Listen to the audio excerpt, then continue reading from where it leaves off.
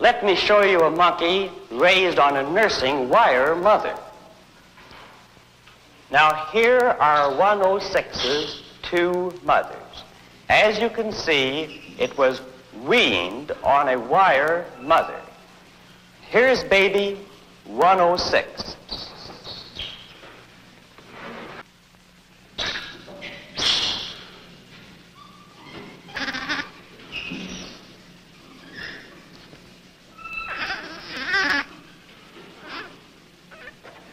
Actually, this baby spends from 17 to 18 hours a day on the cloth mother and less than one hour a day on the wire mother. We had predicted that the variable of contact comfort would be a variable of measurable importance. That looks diabolical.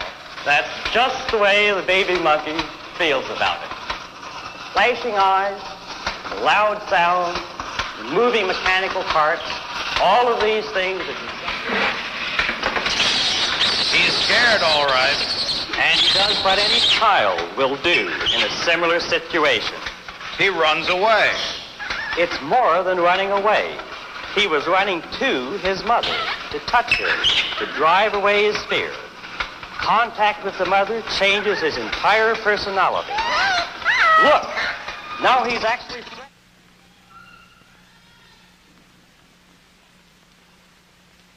Notice how cautiously he enters the room.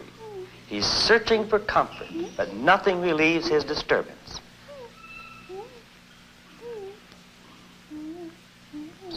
Now we'll take the baby monkey out and put in a wire mother.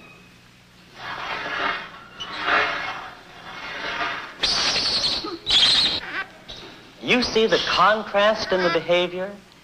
Despite the fact that the wire mother nursed him, she could offer this infant nothing in the way of affection or security.